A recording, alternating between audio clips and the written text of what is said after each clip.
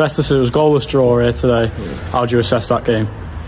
It was okay. It was okay. Um, you know, the saying is if you don't concede, I mean, if you don't score, don't concede.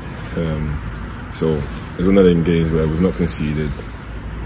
So I'll, as a defender, I'll take that anyway. Yeah, but I think we have we've had chances to, to win the game, but it just didn't, didn't work today. So we'll go again on Tuesday. Yeah, there wasn't much quality in the game from either side. It was kind of a case of just get something out of the game and don't lose by the end of it. I assume. Yeah, literally. Like obviously, when it comes later on in the game, you start you start uh, as, as a centre half anyway. I'll start playing up front, trying to get a goal, stuff like that. But as well as that, you also got to defend and, and make sure you don't concede. So, but yeah, it's one of them games, and, and we need we, at least we got a point.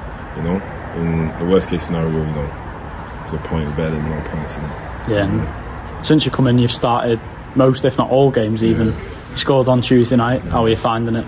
Yeah, I'm enjoying it. I'm enjoying it playing. I, you know, I had a big injury in it, so I needed the fitness. I needed games. So, and uh, when I heard that uh, Gaffer Age and Bellingham me, I wanted to jump straight at it because uh, I know about Southport. I know Southport's a big club, and, and, the fans are great. The fans have been nothing but great with me. Um, I'm enjoying it. Enjoying it very much. Yeah, and we've got three away games now. We've got Warrington on Tuesday and then Banbury on Saturday. Some big points up for grabs. You're looking forward to them. Yeah, we need the points. We need the points. We're going. We're going every game fighting. You know, keeping the back door shut and also trying to get the goal. So that's what we need, and um, hopefully we get them on Tuesday.